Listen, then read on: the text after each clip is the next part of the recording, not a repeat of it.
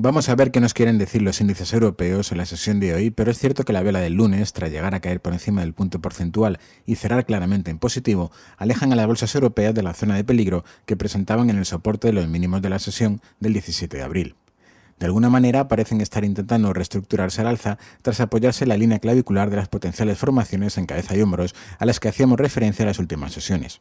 Vamos a ver si tanto el futuro del DAX como el del Eurostox 50 son capaces de confirmar, con algo más de holgura y en precios de cierre, por encima de las resistencias que presentan en los 12.113 y los 3.694 puntos respectivamente.